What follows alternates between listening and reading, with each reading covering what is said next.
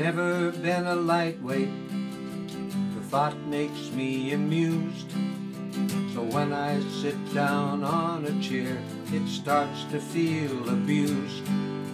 And when the chair is squeaky and longer in the tooth, it's time to get the glue out and nurse it back to youth. Your furniture supports you in many ways and more.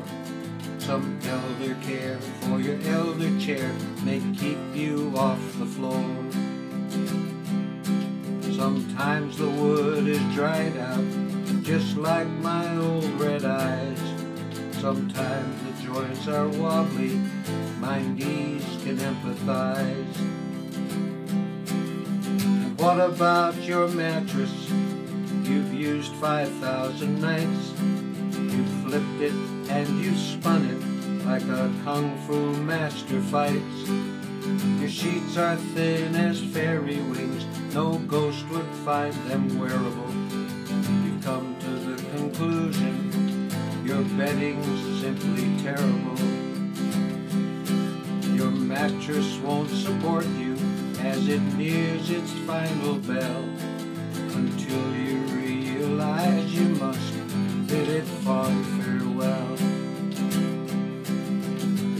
up all night long, it seems, trying to hatch a scheme to keep me up and wide awake and sabotage my dreams.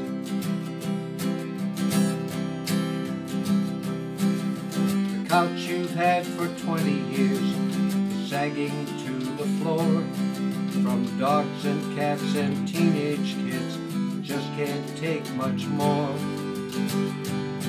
The cushion's crushed beyond repair, so is there any wonder when soon you simply disappear as you keep on sinking under? That sofa won't support you like it did so long ago. The body aches will run you down from your head to toe. The torturers of history for tips on how to get confessions with or without whips. So let this be a lesson, let this be our plan. Don't let your stuff fall to disgrace, save it while you can. Don't let your stuff fall to disgrace,